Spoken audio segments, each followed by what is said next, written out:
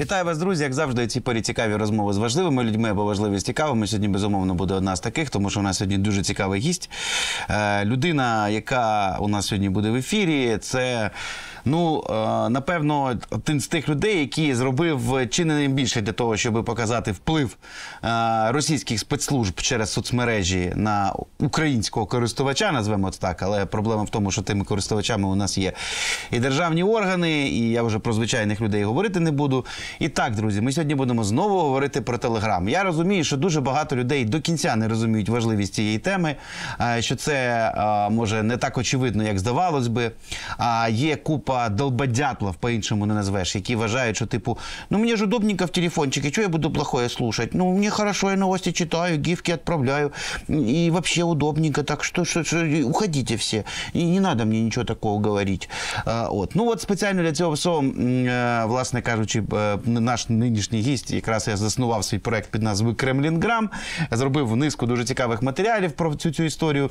Ну а зараз тим більше цікаво про все це поговорити, тому що історія з телеграмом прямо зараз розвивається на очах. Як ми знаємо, засновник телеграми Павел Дуров. Знаходиться на підписці про невиїзд в Парижі, е, продовжуються судові розгляди, і раптом Телеграм почав реагувати на запити європейського законодавства і так далі. Тому подібне. Коротше кажучи, що відбувається з Телеграмом? Е, Хто такий Павло Дуров? Е, На якому етапі взагалі російські спецслужби підключились? Чи це з самого початку була їх ідея? А що в Україні? Наскільки це все небезпечно для української кібербезпеки, в принципі, безпеки? Ми будемо говорити з Назаром Токарем. Вітаю вас, пане Назаре. Привіт, Богдане. Дякую дуже, що ви знайшли час і можливість до нас доєднатися. І, власне, е, ми так по телефону у нас була пробна версія, але я подумав, що треба обов'язково відеоверсію зробити, щоб і в Ютубчику народ черговий раз подивився, і на телебаченні, ну про радіо саме собою. Отже, е, то давайте спробуємо з самого початку. Е, Власне, хто такий Павел Дуров? Чи це він сам вирішив зробити цей телеграм, чи вже йому з самого початку, так сказати, ФСБшечка прийшла, сказала, давай-ка ти зробиш, чи потім підключилися. Наскільки вона має на нього вплив? Що відбулося останнім часом в Парижі? Е, Чого чекати? Ну, тобто, якщо можна от таку от якусь таку от картину в розвитку, враховуючи всі ті ваші дослідження, які ви робили. Прошу. Е, Про Телеграм багато чого невідомого, і ми тільки з часом дізнаємося про те, що з ним відбувається, що з ним відбувалося раніше. Е, Можна з впевненістю сказати, що той образ, який створив собі Павел Дуров протягом е, цих 11 років з моменту заснування Телеграму, е, цей образ будувався на основі того, що він е, сам про себе заявляв. Тобто, якимось чином спростувати або підтвердити цю інформацію ми не могли. Тому багато років багато хто вірив та, по-перше, в те, що він в 2014 році, так би мовити, втік із Росії. Що він так би мовити відмовився від того, щоб надавати е, так звані ключі розшифровки для російських спецслужб, і таке інше тому подібне. Але потім е, поступово почало е, з'являтися дуже багато інформації про те, що принаймні частина з того, що він заявляв про себе, не є правдою. Е, Зокрема, ось нещодавно вже стало відомо доведено да, про те, що після так званої втечі з Російської Федерації Дуров продовжив фактично щомісяця туди їздити. Тому говорити тут про якусь незалежність, говорити про якесь можливо політичне переслідування тут немає сенсу. Якщо він, якщо його там переслідують, то яким же чином він туди їздить? Ну це ж абсурд. Сам Телеграм створили двоє братів Павло і Микола Дуров. І за деяку інформацію, яку ще треба зараз додатково перевіряти, Микола Дуров він досі живе і працює в Петербурзі. Він є науковим співробітником Російської академії наук, фізико-математичного е, фізико-математичної сфери, і е, він собі там продовжує працювати. Така інформація принаймні зараз є на офіційному сайті е, Російської академії наук. Третя людина в е, структурі Телеграму це Ілля Перекопський. Це взагалі дуже цікавий персонаж, який зараз поки що, поки Дуров знаходиться під вартою і невідомо, яке буде його майбутнє. А Перекопський може очолити Телеграм, може стати його фактично першою особою, його керівником безпосередньо.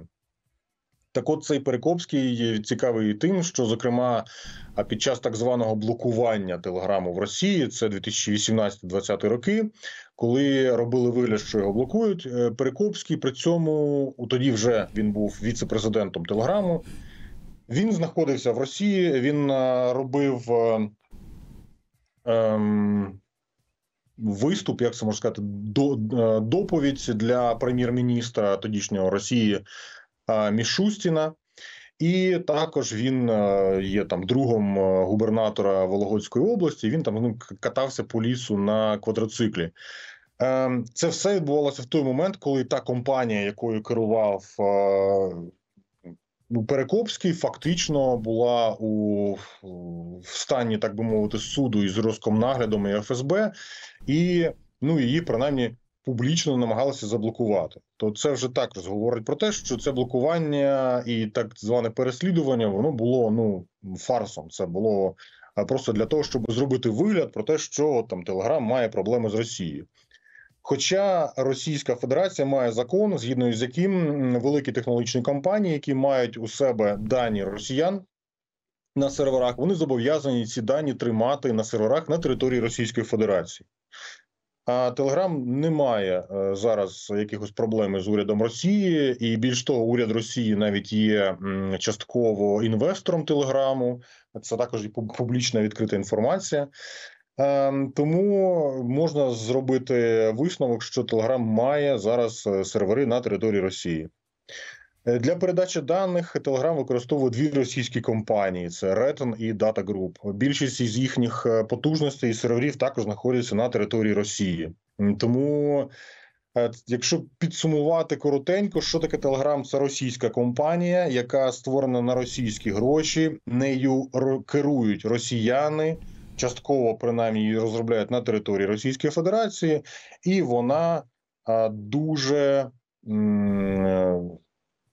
ну, вона дуже близько співпрацює із е, спецслужбами Росії. Про це зокрема вже доповідає наша розвідка. Буданов е, і Юсов відкритим текстом говорять, що дивіться, це е, компанія, яка співпрацює з росіянами. Богдане, можна говорити багато про що. Давай якось координуй е, ці Ні-ні, я- мені, по-перше, дуже, мені- розказати. Мені дуже Цікаво. цікаво, в принципі, послухати тебе, тому що я повторюсь, ти один з тих людей, які в принципі системно займався дослідженням телеграму, і тому я, мені просто цікаво послухати. А що стосується е, окей, без питань. Давай тоді зараз ми спочатку розберемося з, з твоєї точки зору, що відбувається зараз. Е, тобто з усіма цими подіями. Тобто, я нагадаю для людей, хто хто забув, що не так давно господин Дуров на бізнес-джеті прилетів у Францію, де був затриманий французькою поліцією. Потім чотири дня відсидів. Ну, це не, не, не СІЗО. Напевно, це було правильно сказати. КПЗ аеродромне, напевно, так. Е, в нього там були допити, після чого суд його відпустив під е, заставу. Е, ну і він не має права покидати територію Франції. І, грубо кажучи, вся ця історія ще буде продовжуватись. Плюс почалися дуже цікаві тілорухи в самому телеграмі. От буквально, я думаю, Назар, ти бачив сьогодні. От буквально спочатку пішов кит, що нібито Телеграм викинув зі свого FAQ пункт про те, що надалі вони, типу, залишають конфіденційними так звані секретні чати. Хоча потім вони сказали, ні, ні, ми просто перенесли інформацію про це в інший розділ. Але що вже точно є, що вони ввели кнопку пожалуватися, поскаржитись. Тобто, по великому рахунку, це те, е, за що так любили Телеграм всі, е, і казали, що типу е, так і так. Це ж так класно, що там нема цензури, а тепер що вона є. Коротше, що розказав? Да, і Павел Дуров, характерно, розказав, що він дав доступ до свого телефону. Він співпрацював з французьким слідством. Ну і він виявився ще й французьким громадянином. What's going on? Поясни, будь ласка, з твоєї точки зору. Давай по черзі з кінця. По-перше, дійсно він громадянин е, е, Франції. Два роки тому він отримав паспорт і вже стало відомо, що від е, Еммануеля Макрона. Макрон хоче зробити з Франції нову силіконову долину, і він хоче, щоб або Кремнієву долину, іншими словами. Він хоче, щоб великі технологічні компанії там працювали активніше і, взагалі, в ідеалі туди переносили офіси. Зокрема, тепер стало відомо, що він говорив з Дуровим, пропонував йому перенести офіс е, Телеграму до Парижу, на що отримав відмову. Але разом з тим, все одно е, Дуров отримав паспорт Франції. Ем, Щодо кнопки поскаржитися, Е, кнопка поскаржитися, можливо, її кудись і перенесли, і можливо дані там з FAQ з одного місця перенесли в інше. Але ми знаємо, що якщо в борделі представляти ліжка, то суть не змінюється. Це залишається борделем. А кнопка і можливість скаржитися була в Телеграмі. Ну мені здається, з 2014 або 2013 року. Тобто вона нікуди звідти не дівалася. Інша справа, треба розуміти, що на скарги, як такі, Телеграм практично ніколи не реагував. А якщо реагував, то це були скоріше уряди е, Ірану і Росії. Фактично, це і на, на цьому список і закінчується. Е, тому можливість скаржити на скаржитися на пости була завжди, практично. Але на ці скарги Дуров і його компанія завжди забивали. Тобто вони які жодним чином на них не реагували. Є інший цікавий приклад, який стався три дні тому. Це Південна Корея. В Південній Кореї вже протягом останніх шести років є дуже серйозна проблема із порнографією. З порнографією, яка націлена на те, щоб шантажувати місцевих жінок. З появою і масовим запровадженням штучного інтелекту ця проблема набула ще більших розмахів. вона полягає в тому, що в телеграм-каналах безконтрольно публікуються відверті матеріали. Це фото і відео з корейськими жінками. Це можуть бути фотошоп, це можуть бути реальні фотографії, які жінки ну, з тої чи іншої причини зробили, але для там для приватного користування або що але їх е, якимось чином отримують і публікують в відкритому доступі. Чого звичайно там ну мало хто в реальному житті захоче.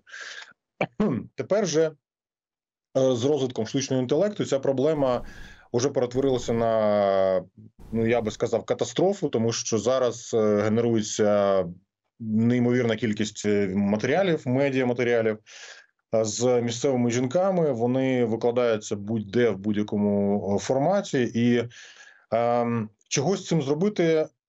Влада місцева не може на будь-які свої запити до телеграму. Корейська влада отримує е, ігнорування. Вона жодним чином не отримала взагалі жодних відповідей, навіть відмови, тобто просто ігнорування.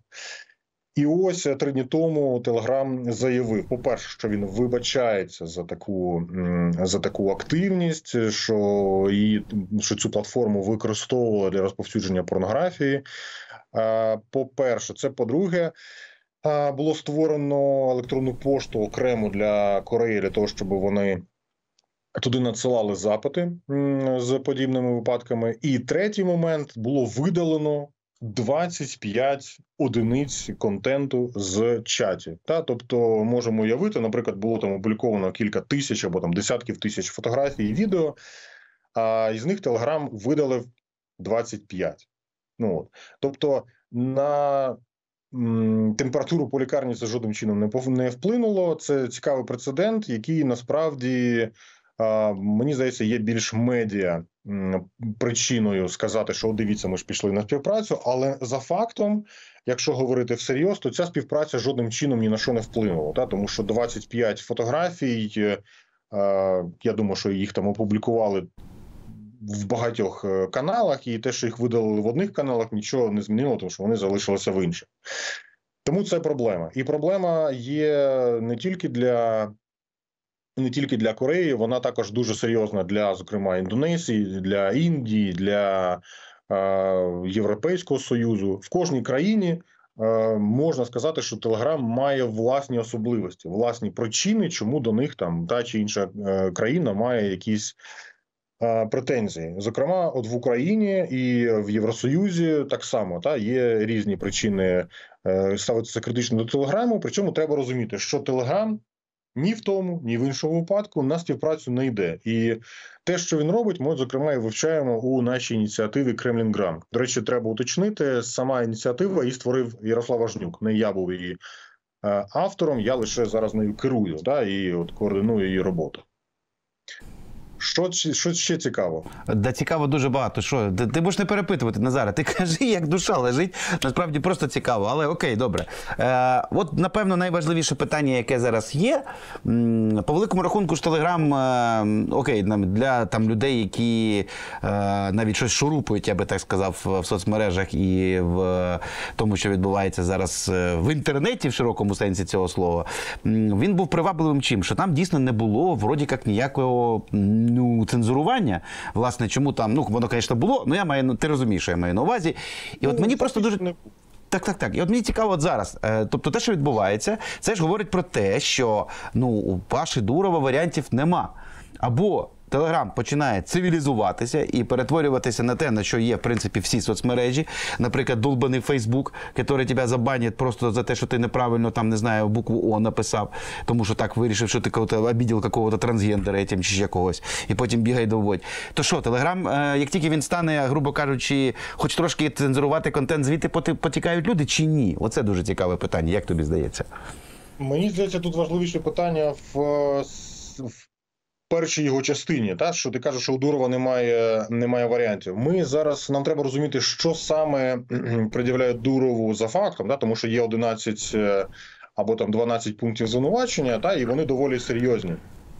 Але що саме зараз відбувається за закритими дверима, тобто з ним же спілкуються, да? можливо, йому пропонують якусь співпра- співпрацю, можливо, ні. Можливо, французька влада вже це вирішила, і зараз вже йде просто мова про те, який він отримає термін.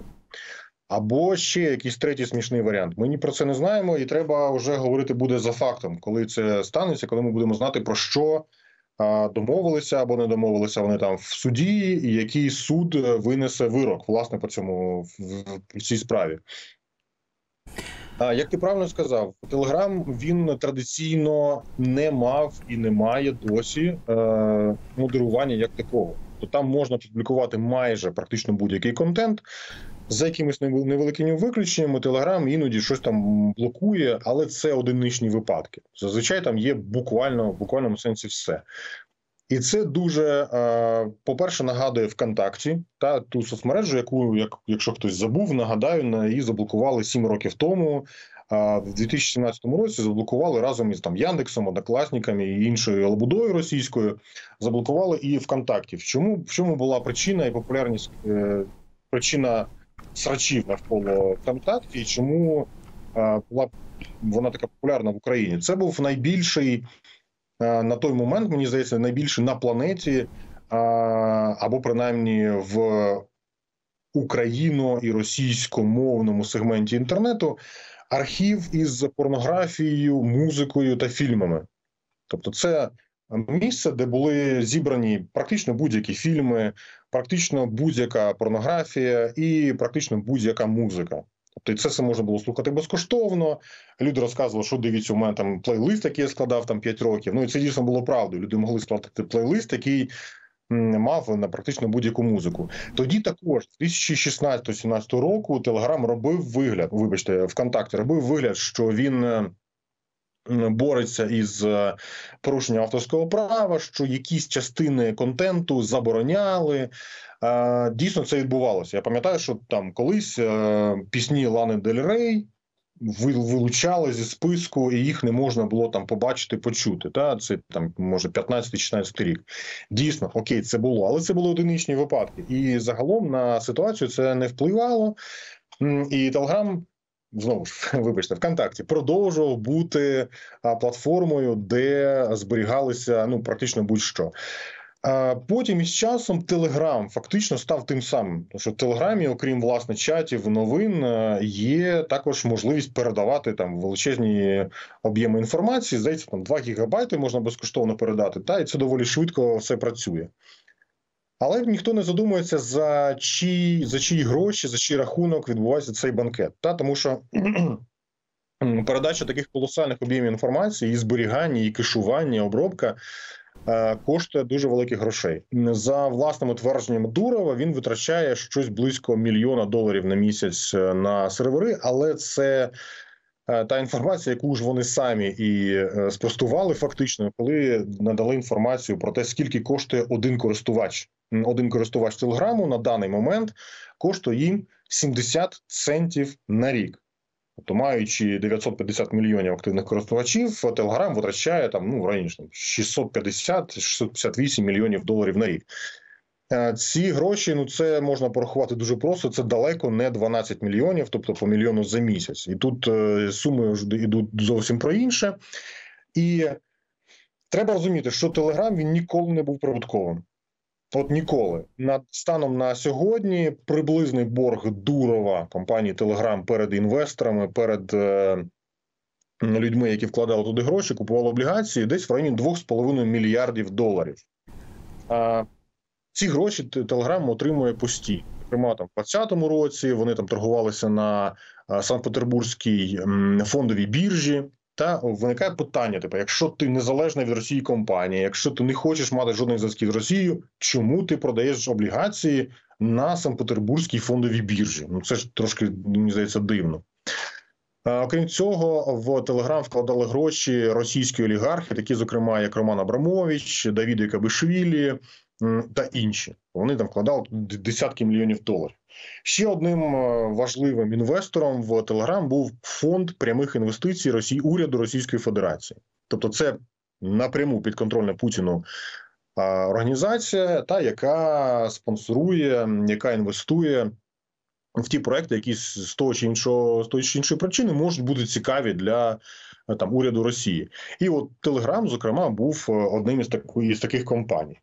Тому говорити про якусь незалежність тут дуже важко. Телеграм повністю залежна від Росії, від російських грошей, від російської влади компанія, яка м, робить вигляд, що це не так. Чому вона робить вигляд? Ну вже кожен може робити такі висновки самостійно. Е, Я можу лише сказати, що ми робили дослідження у вересні 22-го року, тобто, вже коли пів, півроку йшла велика війна. Станом на той час, е, принаймні дев'ятеро працівників телеграму, програмістів, зокрема, вони жили на території Російської Федерації. Це, це вони самі вказували у себе в LinkedIn. А після цього, коли ми опублікували цю інформацію, LinkedIn е, в, в, в Телеграмі запровадили no LinkedIn policy, тобто е, правило, що працівники Телеграму не мають права мати е, LinkedIn аккаунтів і там розказувати про, те, де вони працюють. Ем, тому можна зараз говорити з впевненістю, що це російська компанія, що діє на російські гроші, яка дуже дружня до е, Російської Федерації. Ну, 100%. І от тепер дійсно, напевно, найбільше питання: чи є шанс, що тепер е, господин Дуров, е, знову ж таки, там вже є різні версії, що він у Францію поперся. Є ж версія і про те, що нібито він там міг тікати від е, власне російських спецслужб, які там виставили йому якісь певні невиконувані або не дуже вигідні умови, і він вирішив от таким чином, типу, якось дати. А може і ні. Тут е, склад сказати складно. Ми про це трошки пізніше поговоримо. І от, власне, те, про що ми з вами говорили. Е, Власне, на рівні конкретно взято українського користувача.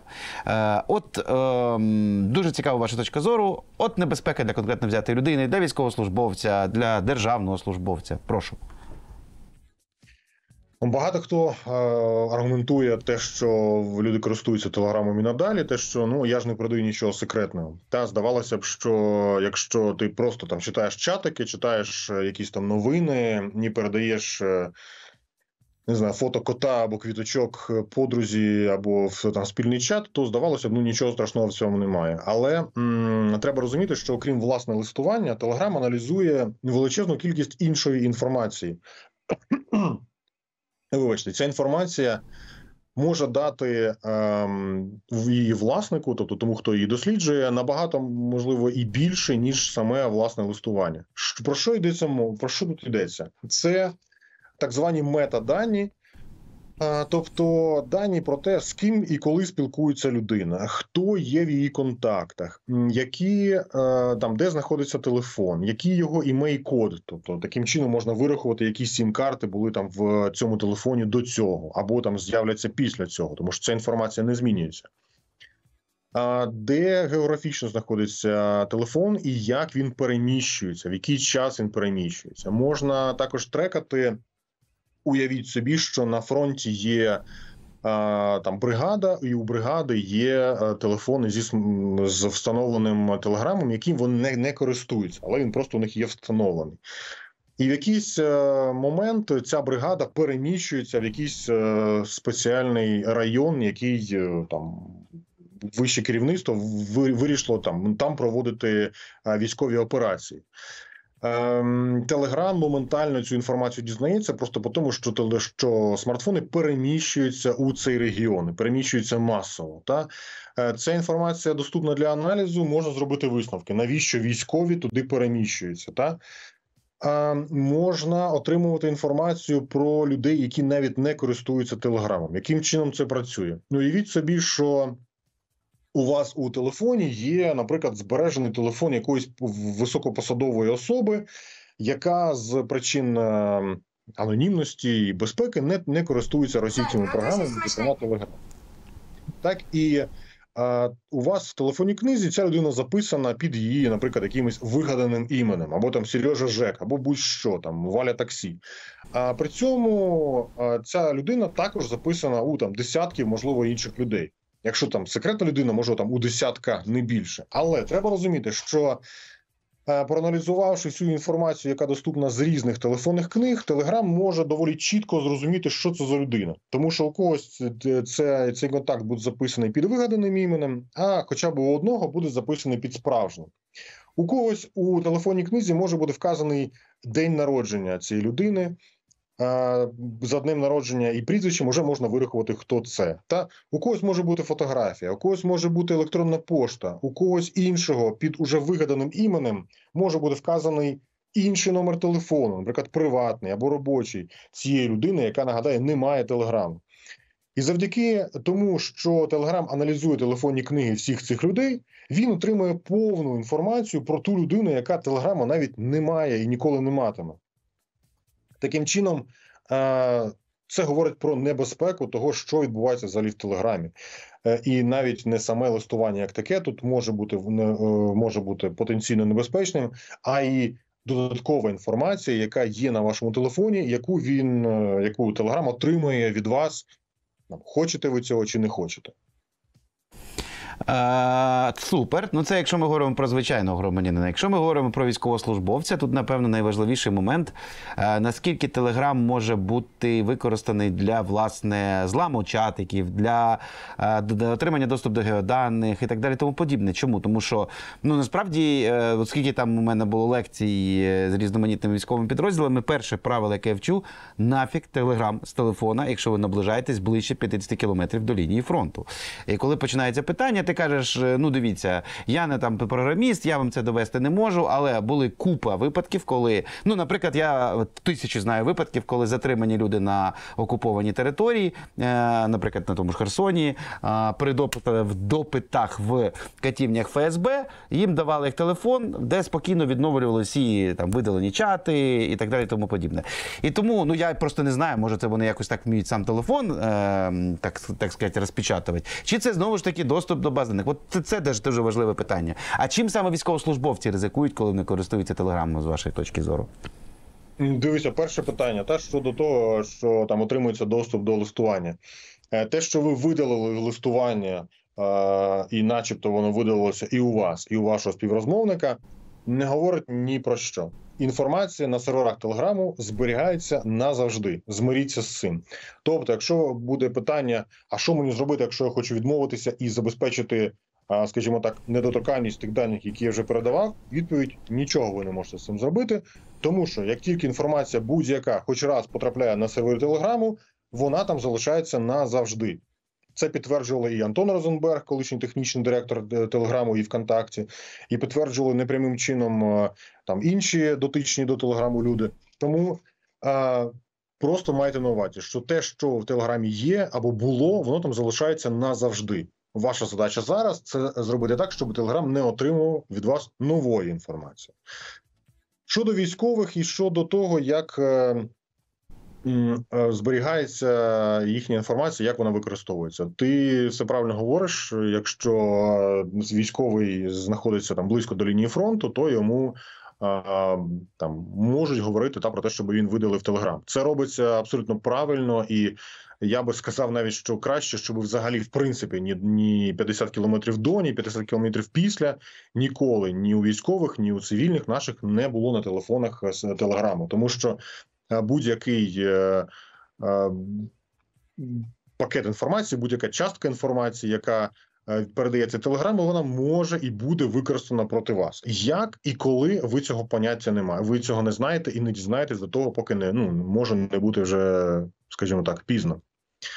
Ем, тому е, ті військові, які, е, які мають дотичність до е, секретної інформації, їм в принципі та бажано не мати на телефоні взагалі не те, що телеграму, а взагалі якихось теле- програм, які можуть навіть потенційно бути е, там небезпечними. Це можуть бути неперевірені VPN е, програми, це може бути які-небудь Maps.me, які ну, там належать Mail.ru. Та це може бути там ще щось, е, те, що може потенційно бути дотичним до, до Росії.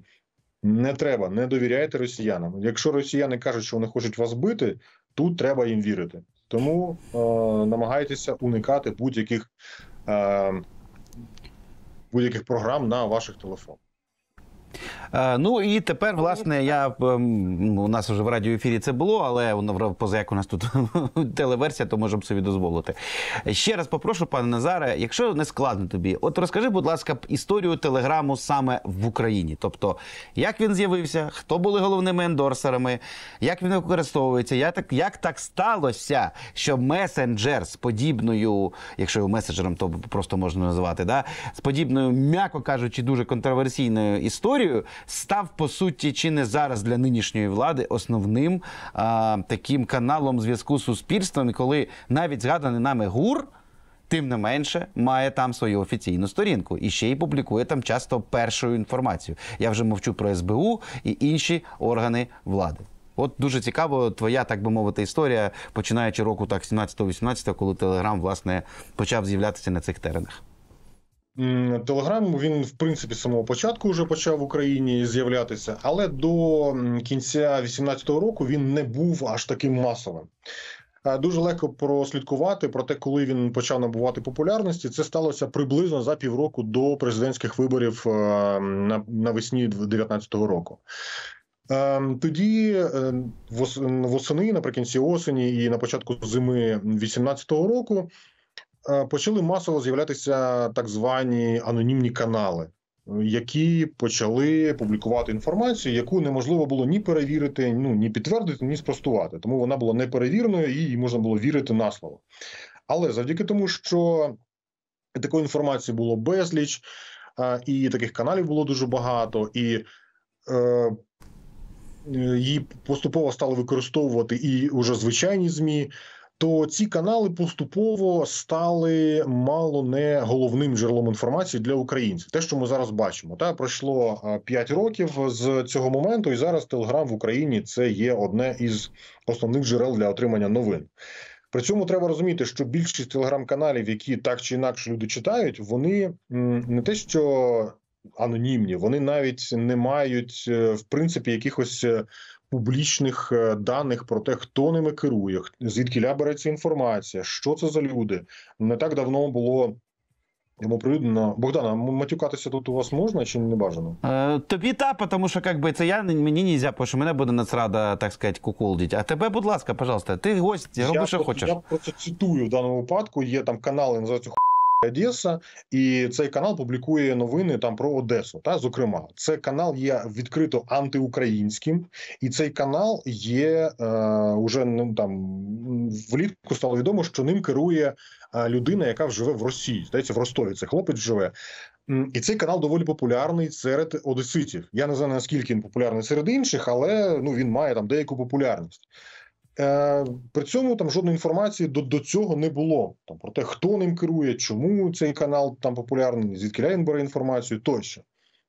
І е, телеграм-канали в якийсь момент стали виконувати роль, по-перше, джерела пропаганди для впливу на українців, і по-друге, поступово він став е, тим методом, де чорні політтехнологи, піарники, називайте їх як хочете, маркетологи, е, почали зливати компромат або вигадувати компромат. Є такі, таке поняття, як зливні бачки, та, тобто сайти, які публікують. ем, Скажімо так, неперевірену або фейкову інформацію, там, де можна за доволі невелику суму грошей щось опублікувати проти людини, яка там вам не подобається. Ваш конкурент, ваш колишній колега, просто ваш колишній тощо. Потім за додаткові гроші можна інформацію цю звідти прибрати, можна навпаки не прибирати. Тобто ці, е, ці зливні бачки вони користуються тим, що до них доступу немає, і ця інформація є у відкритому, відкритому доступі в інтернеті. З часом телеграм-канали, зокрема анонімні телеграм-канали, вони стали таким собі джерелом для зливів. Та, і там можна було бачити і зливи.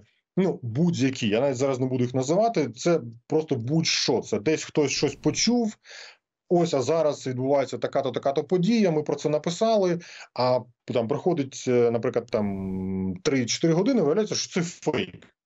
Цю інформацію просто видаляють з цього каналу. Зокрема, там цим грішить труха. Та Е, доволі популярний канал. Чомусь Друже, а ти в курсі? От зараз буде момент істини. Ти знаєш, що насправді вона не труха, а труха. Тому що не від слова труха, я теж колись думав, а це від слова, що тру, трушний, типа, що типа, Ну, братішка, це труха. От чому жесть ситуації, серйозно. Воно труха читається. Я теж не вірив. Я думав, це ж канал Труханова. Чи ж ні, це труха. От так от. Я Ну, це як, бачу, е, як е, Юля Володимирівна полюбляла слово зубожіння. Да, та, да, да, да, це воно, що це воно воно. насправді зубожіння. Да, ну, да, да. Таке. Sorry, що перебив. Ні, нормально, нормально. Я хоч іноді чую, що, що е, там хтось є по, по той бік екрану. Ем, і от, власне, ми маємо, що маємо. Телеграм-канали перетворилися на зливні бачки, в яких можна публікувати будь-що. Причому це не перебільшення, в буквальному сенсі будь-що. Е, інформація не перевірена. Е, якщо публікуються фейки, його можуть потім просто прибрати або навіть не прибирати за умови того, що на там якомусь каналі виходить ну не знаю, там 100 новин на день. Хто їх буде перевіряти, хто їх буде спростовувати? Цим ніхто не займається. І е, сучасні українські змі, та ті, які мають нормальні маю на увазі змі, не, не, не там страна UA там або що, або там 112, а там ті, що там нормальні. А, у них зазвичай є таке поняття, як факт-чекінг, або м, там друга точка зору. Та? Тобто ті поняття, які є журналістикою, власне, не графоманством, то напишу текст, нехай нехай висить. А правда це неправда, то вже інше питання. Ні, а те, що треба перевірити, що ти пишеш, і ти підписуєшся своїм іменем і ставиш е, там підпис, відповідно, це, ця інформація. Вона впливає на твій імідж як журналіста. В телеграм-каналах нема поняття авторства зазвичай. Тому інститут репутації там не діє. Так, от е, сучасні українські змі. Вони, ну мені здається, з якогось е, боку були вимушені, з якогось боку самі підтримували цю ініціативу. А вони поступово самі позаводили всі собі телеграм-канали. І зараз, якщо ми говоримо про якесь велике українське ЗМІ, якщо їх немає в Телеграмі, то до них буде питання: ну а що з вами не так? Типа, ну чому вас там немає? Тобто, щось там не так, розумієте? Не, не тому, що вони там проти, а ну тут щось проблеми, може грошей не вистачає там або що. І, по-перше, це. По-друге, телеграм-канали для них зараз є джерелом трафіку. Тому самі е, ЗМІ вони також додатково туди публікують іноді навіть першу інформацію, іноді якусь додаткову інформацію. І треба розуміти, що це велика проблема, тому що вся ця інформація, вся інформація, яка є в Телеграмі, нею керує е, Російська Федерація, нею керують росіяни і спецслужби. Хочемо ми цього чи не хочемо. Всі збори Лачена, всі збори Стерненка, які відбуваються в Телеграмі, які там. Дуже популярні, і вони збирають мільйони гривень. Саме так ви не помилилися. Вони відбуваються там лише до того часу, допоки їх там дозволяє Телеграм, тобто російська компанія. Як тільки це стане з якоїсь причини невигідно, або ще якась е, щось там стане як, е, причиною, ці телеграми можуть зникнути, як, от, наприклад, зникли чат-боти для отримання інформації із тимчасово окупованих територій, які просто на рівному місці заблокувалися без жодних пояснень, а потім так само розблокувалися. І от тепер давай е, дуже цікавий момент. Чому от так сталося з твоєї точки зору, що по суті головними, і хоча це теж, звісно, ще та шизуха, коли знову ж таки е, Назар сьогодні вже згадував про те, що у нас є ГУР, у нас є СБУ, там низка народних депутатів з відповідних комітетів, наприклад, Па- Патураєв і так далі, які прямо говорять, що Телеграм треба ставити. Є власне Ярослав Юрчишин, новий керів... ну вже не супер новий, але керівник комітету з питань свободи слова, який прямо говорить, що окей, там заборонити може на, на Телеграм прямо от. Технічно це не так то легко, але його треба вводити в жорсткі регуляторні рамки і так далі, тому подібне. Але е, при цьому ми маємо е, позицію чітку навіть президента, який чітко сказав, що мовляв, та що там Дурова арестували, у нас Телеграм буде нормально працювати. Тобто є ситуація, коли головним захисником Телеграму є власне влада. Причому не вся, а от власне Зеленський і його оточення. Чому так сталося? Я просто не можу зрозуміти. Ну окей, а що у Зеленського нема інших каналів, у нього нема телемарафону. Де зрештою, йо-моє, у нього є дуже круті розкручені сторінки в Фейсбуці, в Інстаграмі. Він що, Ютуб собі не може зробити? Чи що? Я їй Богу, я просто не можу зрозуміти, що їм там понамазано в Телеграмі. В чому проблема? Чому? Ну, треба розуміти, що будь-яка соцмережа, будь-яка платформа, вона має свою середню вікову вікову категорію. Якщо ми говоримо про Facebook, то це зазвичай люди, ну хоча б там 35 Та якщо ми говоримо про TikTok, то це зазвичай люди до 20 років. Якщо ми говоримо про YouTube, то це зазвичай там 25-35.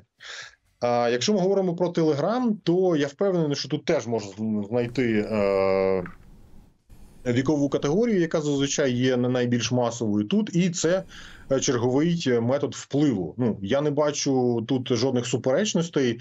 А якщо ти є політиком, якщо ти хочеш донести якусь інформацію до е, своїх там. Людей, майбутніх потенційних виборців, та то ти маєш використовувати всі доступні тобі методи впливу. І Телеграм є таким методом. Якби чому ні? Тут логіка абсолютно зрозуміла. Я хочу згадати інший момент. Ти тільки що згадав та про те, що Юрчишин заявив та про те, що заблокувати Телеграм є технічно складно. складно. А, це ви, виправлю це. Юрчишин казав, що треба ставити регулювання. Це мені просто багато хто говорив з, скажімо так, технічних фахівців, що якби е, він же складніше, це ж не просто не- не ВКонтакті навіть. Там же ж проблема в тому, що якби його саме суто технічно, це треба от е, тоді ставити А щось. тип- Наскільки я розумію, там проблема в тому, що він же ж там постійно змінює якісь. е, Коротше, не буду умнічати. Там є якісь технічні моменти, чому його складно за от саме заблокувати, от так само, як ми, наприклад, е, собі уявляємо блокування. Тому що на ВКонтакті та по великому рахунку зайти можна. Ти собі спокійно ставиш VPN і заходиш в ВКонтакті. Е, тобто, ну, грубо кажучи, це треба, напевно, раком поставити просто всіх головних провайдерів, я так розумію, і сказати, щоб вони це, грубо кажучи, блокували. Ну а VPN хочеш, заходь, ну тут тебе ніхто не. Чи я не правий? Я тебе, давай я тебе трошки можливо розчарую, але е, блокування Телеграму технічно нічим не відрізняється від блокування ВКонтакті. Ага, зрозумів. Угу. І про те, що Телеграм важко заблокувати або неможливо заблокувати, ми дізналися із Телеграму. Угу. Та? Тому у Телеграму є абсолютно чітко виділені, ну там, якщо технічно це цікаво, діапазони адрес, які е, так дійсно вони міняються. Так вони і у ВКонтакті міняються, вони і у Яндекса міняються. Заблокувати Яндекс, якщо на те пішло, важче, ніж заблокувати. Телеграм, але Яндекс спокійнесенько собі заблокували в грудні 17-го, нічого ж не сталося. Тому технічно блокувати Телеграм немає нічого складного. Я про це говорю всім, я про це говорю часто, але це міф, який ми почули від Дурова, це міф, який ми почули від е, так званого Роскомнагляду, про те, що Телеграм важко заблокувати, і це зробити майже неможливо. Ні, це не так. Це відверта маніпуляція і брехня. Заблокувати Телеграм немає нічого складного в цьому взагалі. Супер, А, супер. Дякую дуже за виправлення. Ну ну. Е, ну, це, це власне те, що я хотів тут сказати. А. А, про те, чому, е, чому Зеленський і його команда користуються Телеграмом, ну так тому, що і всі інші, тому що і там БПП, і голос, Угу. і Так, у нас до своїх потенційних виборців. Ну то так, але я просто не розумію, чому зараз, коли ну власне я розумію прекрасно, е, що вони вклали туди дуже велику кількість ресурсів і так далі. Але я просто пам'ятаю, от уже до воно ж доходило вже реально до шиз, ну до- просто до шизофренії, коли в кінці минулого року, пам'ятаєш, коли був величезний скандал, коли вони вже дописалися до того, що мовляв, просто анонімні телеграм-помийки. Ну ми то знаємо, хто за цими телеграм-помийками стоїть, звичайно, і хто їх веде, але ну формально, да запрошуються на, на е, прес-конференцію президента, тоді, коли медіа класичні не запрошують туди. І ну, понятне діло, що вони отримали ушат говна за, за комірець і після цього такого не роблять. Але я просто зараз не можу зрозуміти. Тобто, ну уже ж очевидно, що телеграм стає все більш токсичним. Ну вони продовжують за нього триматися. Саме так. По-перше, той момент, що запрошували е, представників телеграм-каналів, це звичайно дикий фейспалм. Я тоді е, ну мені просто було соромно це бачити і знати. Але ну маємо, що маємо. Щодо того, чому Телеграм продовжує існувати в тому форматі, якому якому є, є мейнстрім.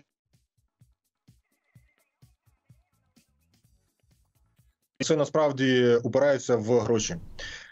Телеграм в нього вкладено чимало грошей. Це і бачите, це і розвиток каналу, це і наймані працівники, які над ним працюють, це і аудиторія там розкручена, е, це назви каналів, е, та які там мають якусь репутацію, і вони вже чогось коштують. А умовно там труха або труха, воно там коштує цей бренд уже якихось грошей.